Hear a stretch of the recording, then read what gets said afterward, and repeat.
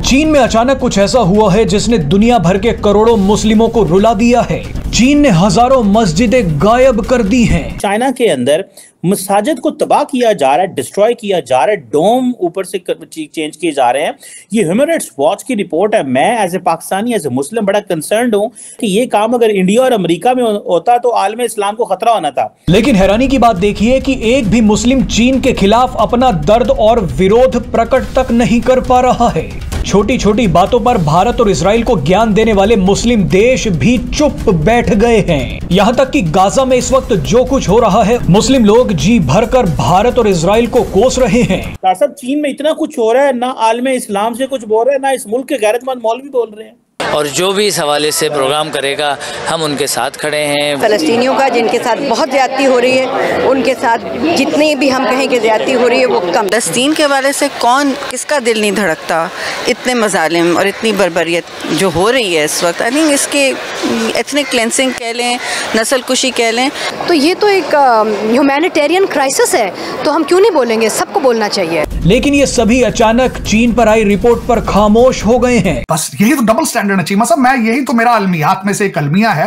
अभी कुछ दिन पहले हमारे प्राइम मिनिस्टर ने कहा कि हमने एक डोजियर बनाया है कि जिसमें माइनॉरिटीज के साथ ज्यादतियाँ होती हैं हिंदुस्तान में। लेकिन अभी मेरे सामने एक बीबीसी की खबर खुली हुई है कि human rights watch accuse Beijing of closing and destroying mosques hello दोस्तों, आप सभी का स्वागत है न्यूज़ फ्लैश सेंट्रल चैनल पर। दोस्तों, हाल ही में चाइना से एक रिपोर्ट आई है, जो बताती है कि इस्लामिक दुनिया डरपोक हो गई है। उनकी आवाज़ें गले से नहीं निकल पा रही है। जैसा कि आप जानते हैं कि वो इस्लामिक दुनिया है, जिसमें पाकिस्तानी मीडिया सबसे ज़्यादा उछलता है। अगर किसी मुसलमान के साथ भारत या किसी दूसरे देश में कुछ भी ऊंच नीच हो जाए तो खास तौर पर पाकिस्तानी हर समय एक ही गाना गाने लगते हैं। और हमने कई उदाहरण देखे हैं। खास तौर से, अभी तक सबसे लेटेस्ट और करंट इशू इसराइल और फिलिस्तान को लेकर इसराइल के खिलाफ पूरी इस्लामिक दुनिया एकजुट हो गई है, सिवाय एक या दो देशों को छोड़कर। साथ ही, जो भी पाकिस्तानी मीडिया हमास के आतंकी को छोड़कर इसराइल की बर्बरता की बात कर रहा है, और तो और। बकायदा, अभी तो पाकिस्तान के अंदर इसराइल के खिलाफ और फिलिस्तानी मुसलमानों के हक में रैलियाँ पर रैलियाँ निकाली जा रही है, और हर पाकिस्तान एक ही सुर में इसराइल के खिलाफ बातें कर रहा है। दरअसल चाइना के अंदर मसाजिद को तबाह किया जा रहा है डिस्ट्रॉय किया जा रहा है डोम ऊपर से चेंज किए जा रहे हैं। ये ह्यूमन राइट्स वॉच की रिपोर्ट है। मैं as a Pakistani as a Muslim बड़ा कंसर्न हूँ कि ये काम अगर इंडिया और अमेरिका में होता तो आलम इस्लाम को खतरा होना था। लेकिन ये काम क्योंकि चाइना में हुआ है तो लिहाजा कोई बंदा नहीं बोलेगा। तार साहब इस पर भी थोड़ा कमेंट करें कि इंडिया में हम कहते हैं जी एक मुसलमान खरूच आ गई है।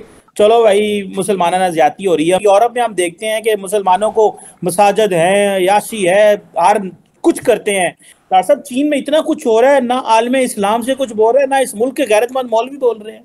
शीमा साहब, अमेरिका के अंदर इस्लाम सऊदी अरबिया से ज़्यादा सेफ़ है। मैं ये बताना चाहता हूँ, वहाँ पे खुतबा आपका फैक्स पे आता है, मौलवी को। और वो एक लफज दूसरा बोले, शाम को घर नहीं रहता वो मौलवी, सऊदी अरबिया के अंदर। यहाँ पे आपके मौलवी जो, यहाँ पे मैं, देखें उरस यहाँ मनाया जाता है, मस्जिदों में।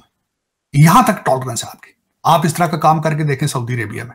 लेकिन चीमा साहब, बात यह है कि चाइना के अंदर 2000 से ज़्यादा मस्जिदें पहले शहीद की जा चुकी हैं। वीगर मुसलमानों की हालत यह है कि ना वो नमाज़ पढ़ सकते हैं, ना दाढ़ी रख सकते हैं, ना रोजा रख सकते हैं। आपको पता है कि पाकिस्तान में आप चाइना के इस इस टॉपिक में बात करें तो शाम को आपको चिल्ले पे लेके ले जाते हैं आप। बस यही तो डबल स्टैंडर्ड है। चीमा साहब, मैं यही तो मेरा अलमियात में से एक अलमिया है। उस पर तो नहीं बोलना चाइना से हमारी दोस्ती बहुत पुरानी है जी। अभी कुछ दिन पहले हमारे इस्लामाबाद में मरगला डायलॉग्स चल रहे थे तो वहाँ पे हमारे प्राइम मिनिस्टर ने कहा कि हमने एक डोजियर बनाया है कि जिसमें माइनॉरिटीज के साथ ज्यादतियाँ होती हैं हिंदुस्तान में। लेकिन अभी मेरे सामने एक बीबीसी की खबर खुली हुई है कि human rights watch accuse Beijing of closing and destroying mosques sir, इस चीज़ को हम मतलब देखे Kakar is a hand picked man of the establishment तो मिस्टर काकड़ की अपने व्यूज़ हैं या जो उन्हें कहा गया है कि आपने ये करना है वो कर रहे हैं।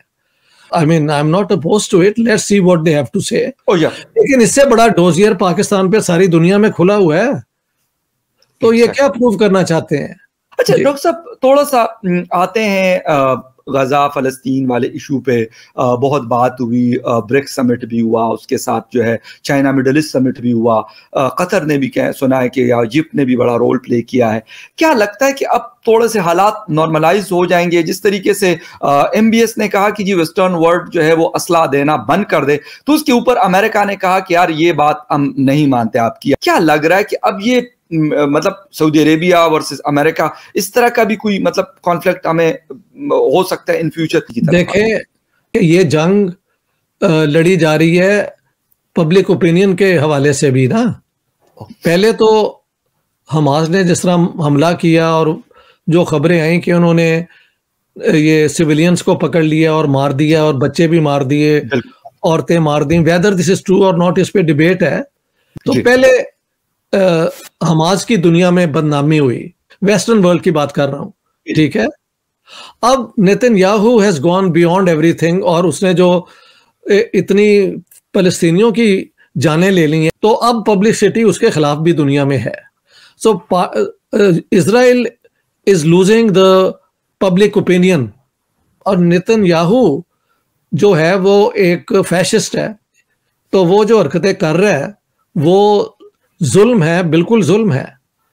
ये तीन चार दिन का जो सीज फायर हुआ। सीज फायर तो ये भी उसके लिए तैयार नहीं था तैयार तो अब हो गया नितिन याहू ने कहा कि नहीं ये सिर्फ़ तीन दिन चार दिन का है उसके बाद I resume the war let's see मकबूसा मगरबी किनारे में इसराइली फोर्सेस की जालिमाना कार्रवाइयाँ जारी हैं। फलस्तीन पर इसराइली मजालिम के खिलाफ कराची में कल फलस्तीन यकजहती कमेटी के जेर एहतमाम रैली निकाली जाएगी ताकि हर मकतबा फ़िक्र से ताल्लुक़ रखने वाले अफराद एक जगह इकट्ठा हों और अपना एहतजाज रिकॉर्ड करवा सकें। सियासतदानों, फनकारों, अदाकारों, शोरा, अदीबों और साफ़ियों समेत ज़िंदगी के मुख्तलिफ़ शोबों से ताल्लुक़ रखने वाले अफराद ने आवाम से रैली में भरपूर शिरकत की, अपील की है। उन फ़लस्तनी भाइयों को ये पैगाम देगी कि हम दर में दामन सुखने, उनके साथ इस गम के मौके पर उनके साथ शरीक है।